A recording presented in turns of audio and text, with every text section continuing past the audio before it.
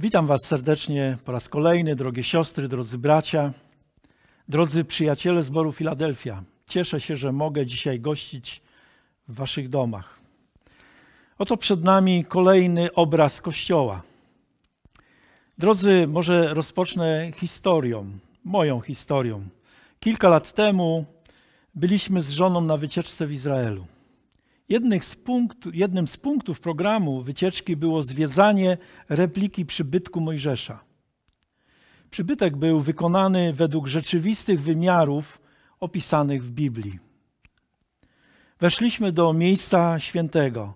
Pamiętam ten złoty świecznik, pamiętam stół z chlebami pokładnymi, pamiętam też ołtarz kadzielny, z którego unosił się zapach spalanych kadzideł.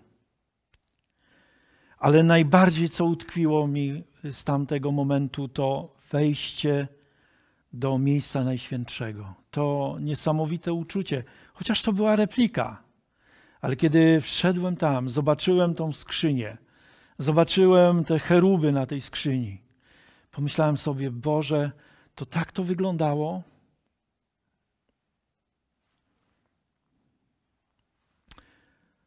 Około 400 lat później na wzgórzu Moria Salomon, król Salomon, wybudował piękną świątynię. Dzieło, które zapierało dech w piersiach wówczas żyjących ludzi. Ale gdy Salomon ją wybudował, miał pewne wątpliwości. Posłuchajcie fragmentu jego modlitwy podczas poświęcenia świątyni. 1 Koryntian 6 rozdział 18 i 20 werset. Lecz czy naprawdę zamieszka Bóg z człowiekiem na ziemi? Oto niebiosa. I niebiosa niebios nie mogą cię ogarnąć, a cóż dopiero ten przybytek, który zbudowałem. I werset 20. Niechaj oczy Twoje otwarte będą nad tym przybytkiem dniem i nocą. Nad tym miejscem, o którym powiedziałeś, tam będzie moje imię abyś wysłuchiwał modlitwy, jaką Twój sługa będzie zanosił na tym miejscu. Salomon zrozumiał coś niesamowitego. Zrozumiał, że Bóg nie może zamieszkać w budynku uczynionym ludzką ręką. I dlatego w wersecie 20 mówi o tym, że Boże, patrz na to miejsce. Salomon zrozumiał, że świątynia to jest miejsce spotkania z Bogiem.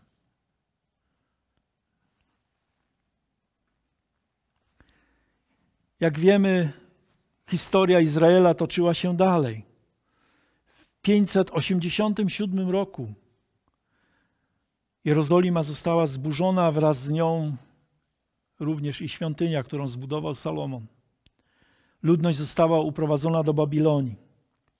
70 lat później powrócili w 516 roku i odbudowali mury, odbudowali świątynię i znów na nowo wszystko zaczęło tętnić normalnym życiem. W 18 roku przed Chrystusem, czyli kilkaset lat później, król Herod postanowił przebudować świątynię. I rzeczywiście, według opisów ówczesnych historyków, był to jeden z największych cudów architektury i nie tylko. W tym czasie urodził się Jezus. A potem wiemy, że około 30 roku zawisł na krzyżu, został pochowany i trzeciego dnia zmartwychwstał.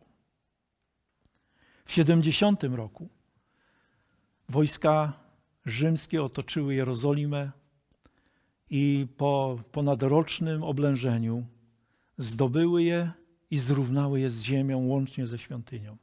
Świątynia spłonęła. Do dzisiaj naród izraelski nie ma świątyni. Ale pozwólcie, że przeczytam pewien fragment Bożego Słowa y, zapisany przez Piotra w, w, jego pierwszym liście, drugi rozdział, piąty werset. Piotr napisał tak. I wy sami, jako kamienie żywe, budujcie się w dom duchowy, w kapłaństwo święte, aby składać duchowe ofiary przyjemne Bogu przez Jezusa Chrystusa.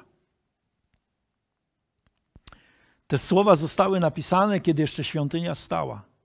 Siedem lat wcześniej, kiedy została zburzona. I Piotr mówi tutaj o dwóch rzeczach. Po pierwsze, stwierdza, że Kościół jest Bożą świątynią.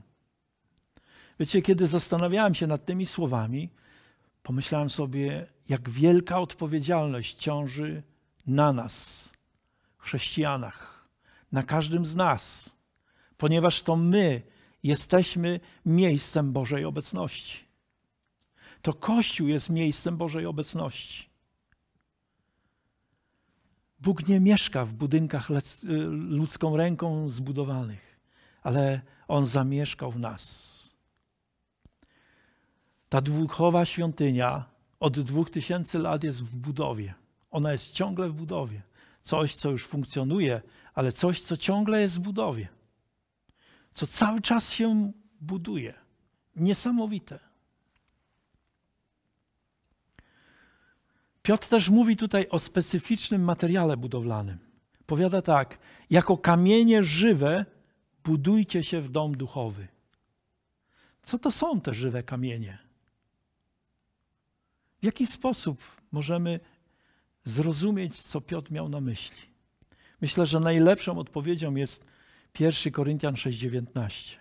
Albo czy nie wiecie, że ciało wasze jest świątynią Ducha Świętego, który jest w was i którego macie od Boga, i że nie należycie też do siebie samych? Oto żywe kamienie. Każdy z nas, kto narodził się na nowo, stał się żywym kamieniem, który należy wbudować świątynię. To nie są kamienie, które mają leżeć gdzieś na placu, niepotrzebne, bezużyteczne, ale Bóg pragnie, aby każdy kamień został wbudowany w świątynię. W tą cudowną świątynię, którą Bóg buduje od dwóch tysięcy lat. Przeczytajmy raz jeszcze to słowo Piotra z jego listu. I wy sami, jako kamienie żywe, budujcie się w oryginale, jesteście budowani w dom duchowy, w kapłaństwo święte, aby składać duchowe ofiary przyjemne Bogu przez Jezusa Chrystusa. Mamy tutaj dwa polecenia. Wbudowanie w przybytek Pana, jako kamienie żywe, być tym właściwym materiałem budowlanym, dobrze dopasowanym, pięknie obrobionym, żeby zająć to właściwe swoje miejsce, które Bóg nam przygotował. Ale też Bóg zachęca nas do tego, abyśmy byli tymi, którzy dostarczają materiału na budowę. Abyśmy na lewo i na prawo głosili Jezusa Chrystusa, który jest Panem i Zbawicielem. I aby każdy człowiek mógł to usłyszeć i mógł pojednać się z Bogiem, mógł narodzić się na nowo i mógł stać się takim żywym kamieniem. Bóg kocha każdego człowieka. Nieważne, w którym miejscu jesteś, przyjacielu. Nieważne, jak dotąd wyglądało Twoje życie. Choć zapewne jest wielu wokół Ciebie, którzy być może cierpią z tego powodu. Ale chcę Ci powiedzieć bardzo ważną rzecz. Bóg Cię kocha i Bóg ma przygotowane dla Ciebie miejsce w swojej świątyni.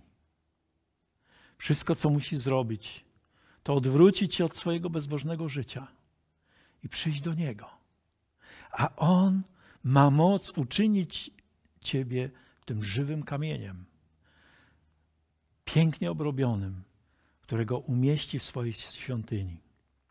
I wreszcie druga sprawa, na którą chciałbym zwrócić uwagę, to służba kapłańska. Każdy z nas jest nie tylko kamieniem, tym żywym kamieniem świątyni, ale również jesteśmy kapłanami Boga w tej świątyni. A więc zachęcam również, abyśmy wykonywali nasze obowiązki kapłańskie. A jakie one są? To jest właśnie służba. Biblia mówi, abyśmy składali ofiary miłe Bogu. To jest modlitwy, to są dobre uczynki, to jest miłosierdzie, to jest wszystko to, co możemy dzisiaj czynić, żyjąc na tym świecie. Drodzy, zachęcam Was do tego, abyście rozważyli głęboko to słowo, przyjęli je do swojego serca i abyśmy mogli żyć tym słowem. Oto cztery obrazy Kościoła, które dotychczas omówiliśmy. Kościół to lud Boży. Kościół to ciało Jezusa Chrystusa, to był drugi obraz. Trzeci obraz, Kościół to oblubienica Jezusa Chrystusa. Dzisiaj mówiliśmy o tym, że Kościół to Boża świątynia. Przed nami kolejne trzy obrazy, które Bóg pokazał mi, które włożył na moje serce. Jeśli Pan pozwoli, przyjrzymy się i tym, czym pozostałem. Dziękuję, Ci, dziękuję Wam, że zechcieliście mnie wysłuchać, że byliście ze mną przez tą chwilę. Wierzę, że to słowo zachęca Was do tego, aby szukać Bożego oblicza, aby przyjmować Jego słowo, Jego prawdy, bo to nie jest coś, co powinno być, to jest coś, co jest naszym udziałem. Jesteś Bożą świątynią, jesteś Bożym ludem, jesteś ciałem Jezusa Chrystusa, jesteś Jego oblubienicą. Pytanie jest tylko, czy żyje według tego.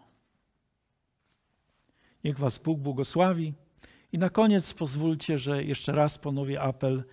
Y, proszę osoby, które są zainteresowane kursem alfa, przyślijcie mi SMS-a. Jestem zainteresowany kursem alfa, a ja odpowiem Wam, kiedy, co jak, w jaki sposób zorganizujemy, aby ten kurs alfa mógł się kontynuować, moglibyśmy kontynuować.